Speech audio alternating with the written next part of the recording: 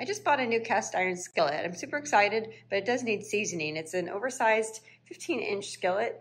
And before you use them, you definitely have to season them. So what I'm gonna do is go over to my oven and turn it on bake 375.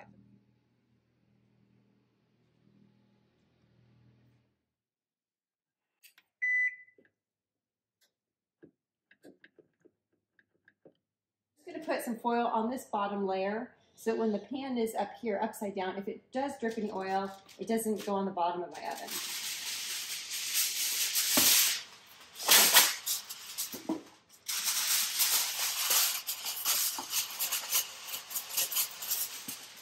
Shorten it a little bit and pop it in.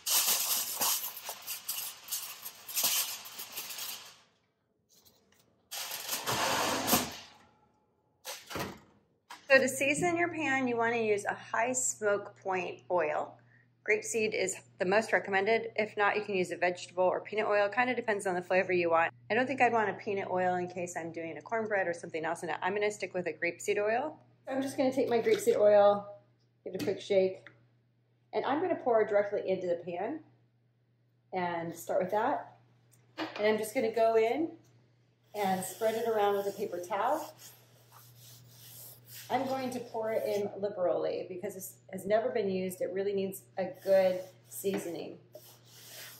So just really oiling up every part of the inside of the pan.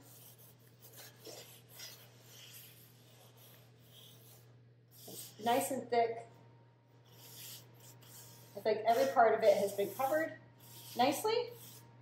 And you can do this every few months or once a year or if you use your cast iron skillet often, you won't really need to. The key is just using this pan often to keep it seasoned. The oven is up to temp. I'm just gonna pop this in, upside down. Watch your fingers. And I'm gonna let it do its thing for an hour. It's been an hour. I'm just gonna check on the pan. Looks great. I'm just gonna let it stay there until it's completely cool. It's a very hot pan right now, so I'm just gonna turn off my oven and let it sit until it's completely cool. This process can be repeated a few more times if you'd like.